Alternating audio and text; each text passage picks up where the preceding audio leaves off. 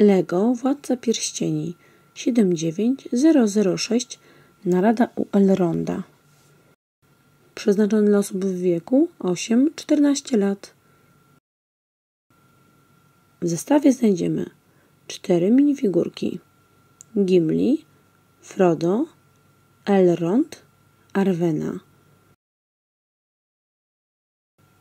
Dwór Elronda Rivendell o wymiarach 15 cm wysokość, 24 cm szerokość, 17 cm głębokość, który posiada wspaniałe zdobienia, piękne elfickie łuki ścienne, a także stojak na broń, schody, drzewa, trzy fotele, podium z wyrzutnią oraz ukrytym okiem Saurona.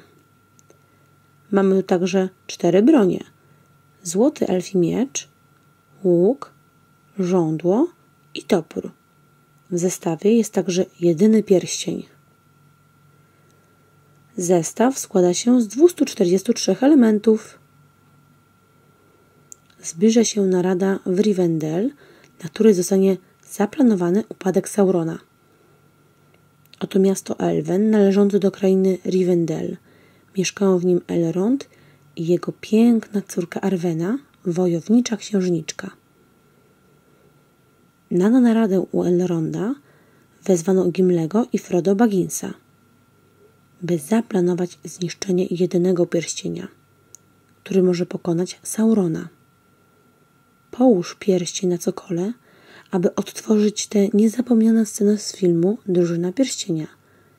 A kiedy Gimli będzie próbował zniszczyć pierścień toporem, wystrzel go w powietrze z wyrzutni. Musisz uważać na oko Saurona, który jest coraz bliżej pierścienia, co powoduje, że może zawładnąć on śródziemiem. Jak potoczy się ta narada? Kto wyruszył na tę niebezpieczną wyprawę? I jakie będzie jej zakończenie?